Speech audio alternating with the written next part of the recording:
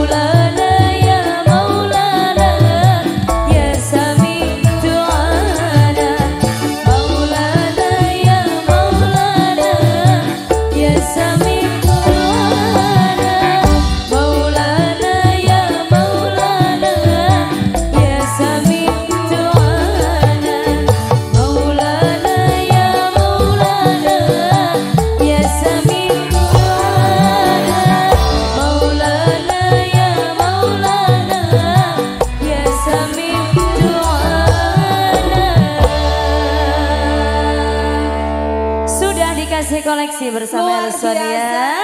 Terima kasih.